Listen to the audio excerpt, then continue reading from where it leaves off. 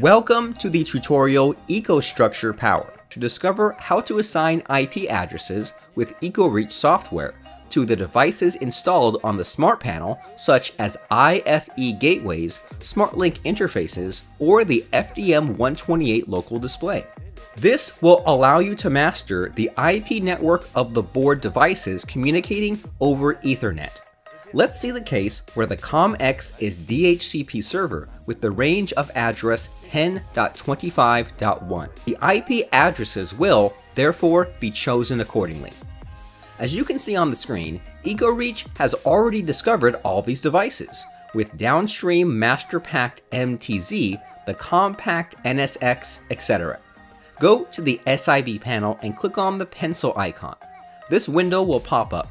You must switch all the IP to manual and assign the same for each device. The static IP must be set because COMX assigns IP to the devices.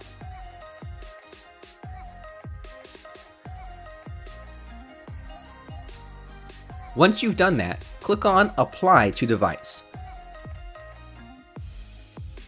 Go to the IFE panel and click on the pencil icon. Switch to manual and reassure the IP address is correct. Do the same steps for all devices. On this case, we've assigned to the SIB and two IFEs. We remind you that you've available all tutorials for every configuration stage of the Smart Panel and Facility Expert. For more details, you can download the configuration guide, EcoStruxure Power.